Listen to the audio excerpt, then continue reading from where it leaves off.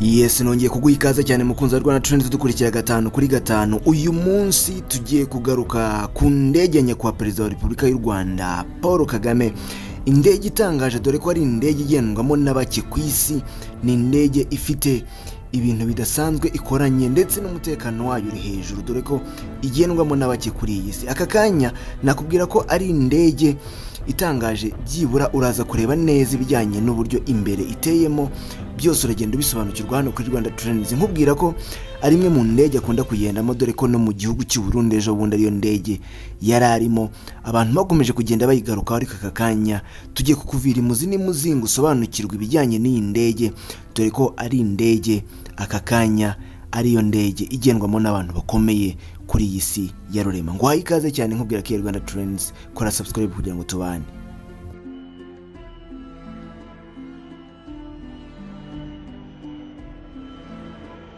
Nyuma y'aho perezida wa repubulika y'u rwanda yitabiriye inama y'abakuru b'ibihugu bagize akarere ka afurika y'uburasirazuba biga ku kibazo cy'umutekano mu burasirazuba bwa repubulika iharanira demokarasi ya kongo abantu bongeye kugaruka cyane cyane ku modoka ya nyakubahwa perezida wa repubulika y'u rwanda iyo bita Cadillac Escalade ESV imodoka ihagaze agaciro kasaga ibihumbi magana ane by'amadolari. Aka kanya indege na yo nanone yongeye kugaruka mu mitwe y'abantu bibaza iyi ndege ni indege iteye ite? Ariyo mpamvu aka kanya tugiye kubigarukaho ni indege igendamo abantu bakomeye cyane kuko ni jet prive bita ubundi iri mu rwego rwa business classes. Ariyo mpamvu uzasanga igendwamo n'abakire bakomeye cyane hano ku isi nka Elon Musk wigeze kuba umuherwe wa mbere ku isi aka kanya akaba ari umuyobozi wa Twitter cyangwa nyiri urubuga nkoranyambaga bita Twitter nawe akaba agenda muri ubu bwoko bw'indege.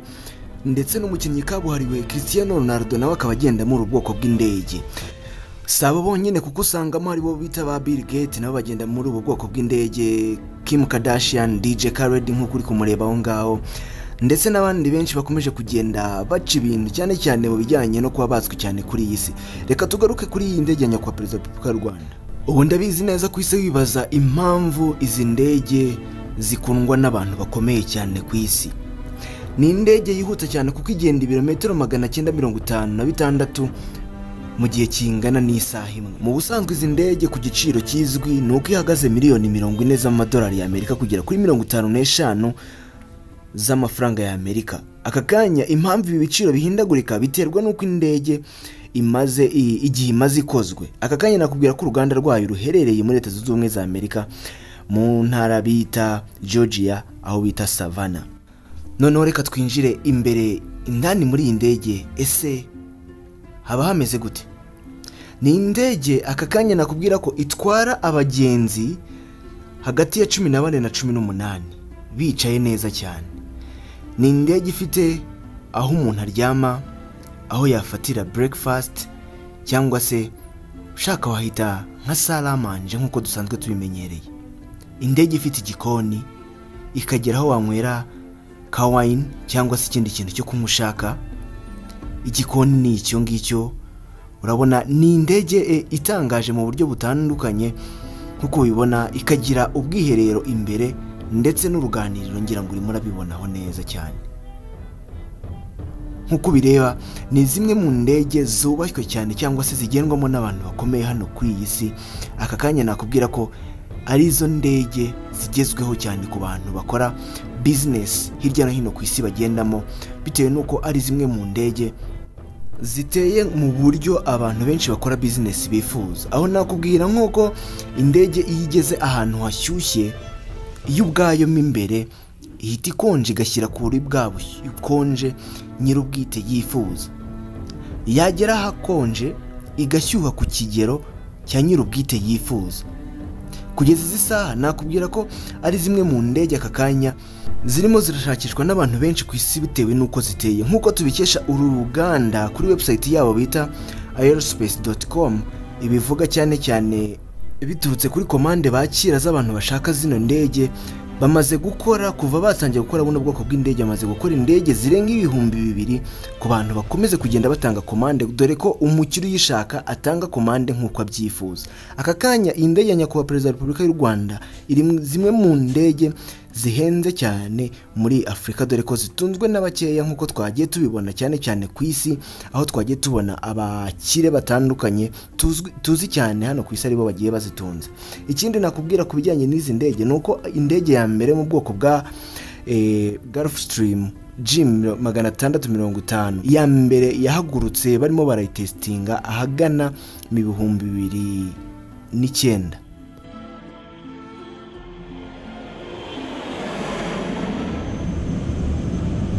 nk'uko nawe umaze kuyibona iyo ni indege ya nyakubahwa perezida wa repubulika y'u rwanda agendamo twagerageje kugira ngo tukwereke uburyo iteyemo ndetse n'ibiyigize dore ko itunzwe n'abakeya nk'uko wagiye ubibona. Nk'uko twagiye twifashisha cyane cyane webusayiti y'uruganda rukora zino ndege dukomeza kugenda dushaka amakuru ariko kugeza aka kanya tugiye kugaruka ku bijyanye n'imodoka ye yo mu bwoko bwa Cadillac Escalade ESV ikorerwa muri leta zunze ubumwe za amerika.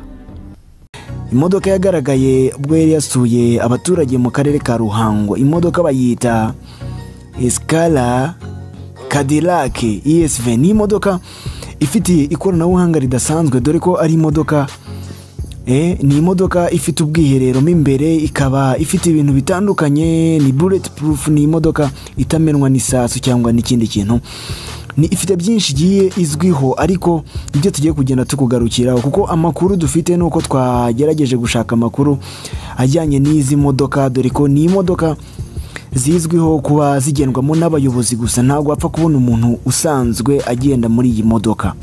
Kuko ifite ikoranabuhanga ridasanzwe ariyo ugiye kugenda ureba twagerageje gushaka amwe mu mashusho uragenda ubona agaragaza uburyo iyi modoka ikoramo n'uburyo iteyemo.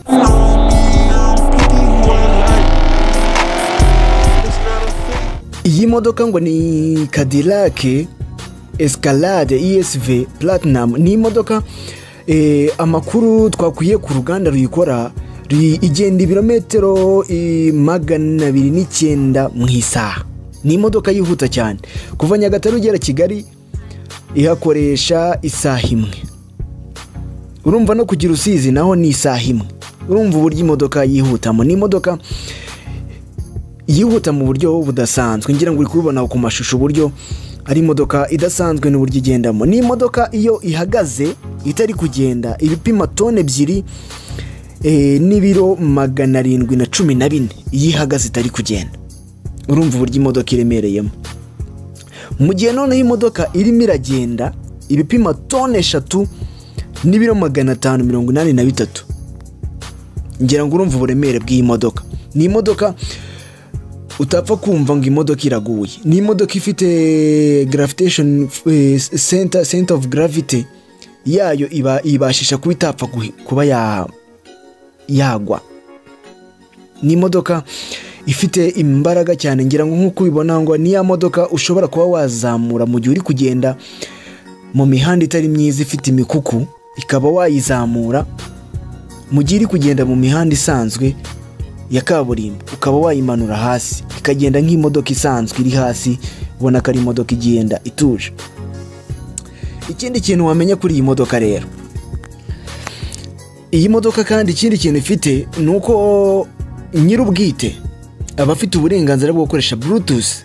Bluetooth yayo ikoreshwa na nyir'ubwite na nyir'imodoka.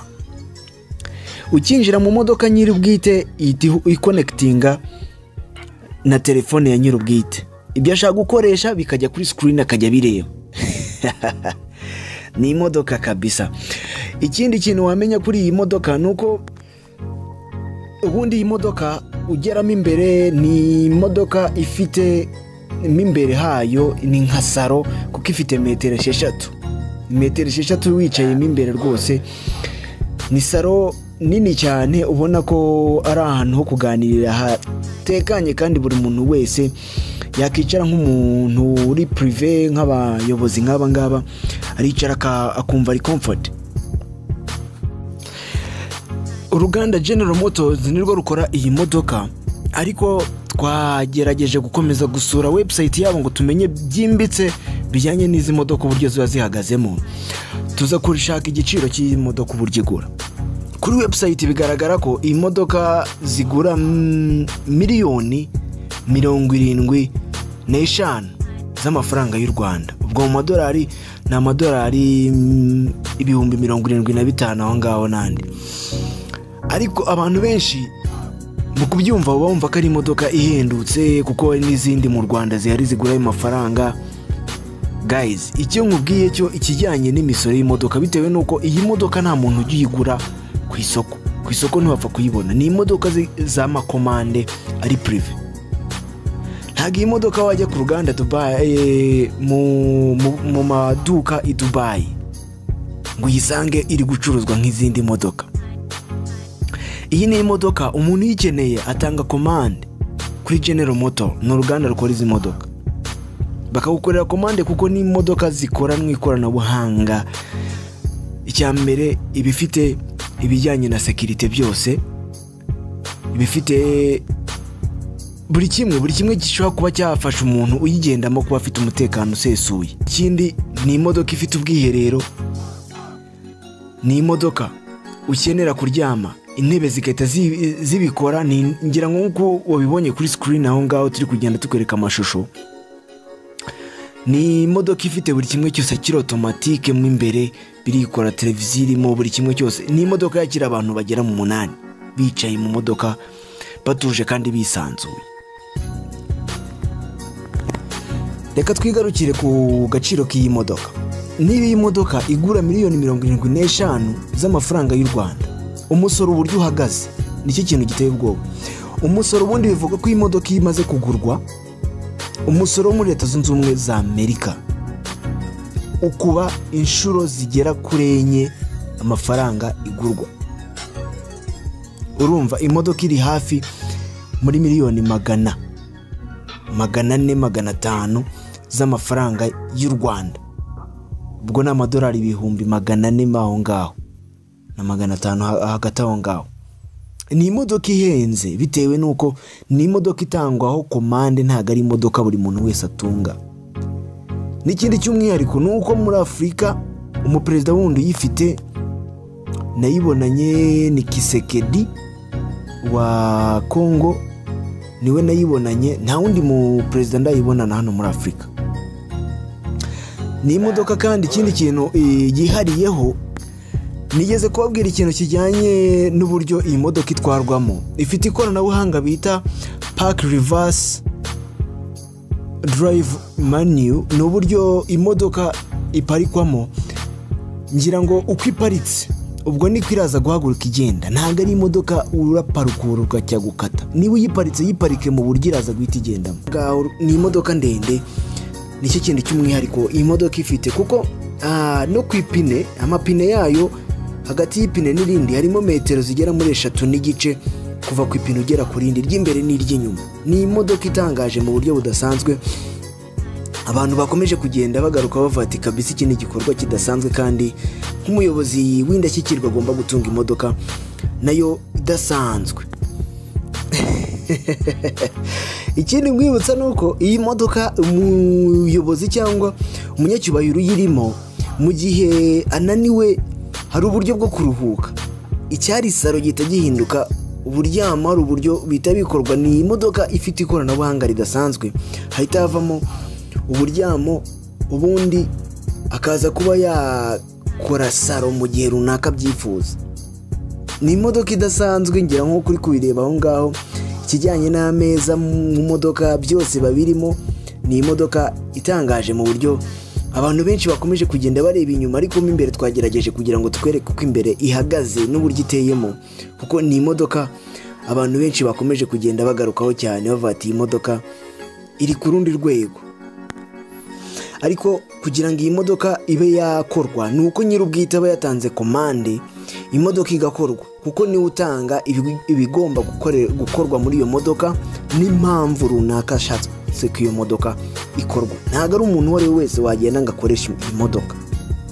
Kuko niyo bita Cadillac One ni imodoka ya perezida wa leta zunze ubumwe za amerika bakunda kuyita the beast inyamaswa.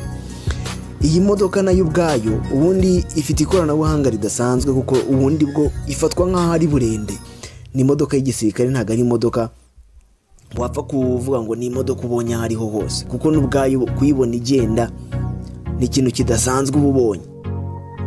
Ari na yo mpamvu ni ikintu twagakwiye kwishimira nk'abanyarwanda kubona umuyobozi w'igihugu agenda mu modoka nk'iyi ngiyi y'abayobozi bakomeye ku rwego rw'isi. Iri ni ishema cyane. Ni ishema tugomba ku- kuvuga nk'abanyarwanda kandi tukishimira. Tuvuga tuti hari intambwe runaka tumaze kugeraho ubwo umuyobozi nawe ah, agende mu modoka nk'iyi ngiyi imuhesha icyubahiro nk'umuyobozi wacu. Yesi ngushimira cyane we twakomeje kugenda tubana. Iyi ni rwanda trends ubundi tubagezaho amakuru y'imyidagaduro tukabagezaho siporo nk'ibi ngibi twagiye tubagezaho ko abantu benshi bagiye badusaba kugira ngo tugaruke cyane cyane kuri iyi modoka ya his excellence imodoka agendamo ngira ngo tugerageje kubabwira muri makeya bimwe mu biyigize ariko imodoka ye ntabwo twakubwira exact ni iki ikozemo twe twavuze muri rusange kuko imodoka zakozwe n'uru ruganda zigiye zitandukanye bitewe na komande y'umuyobozi icyo yashatse.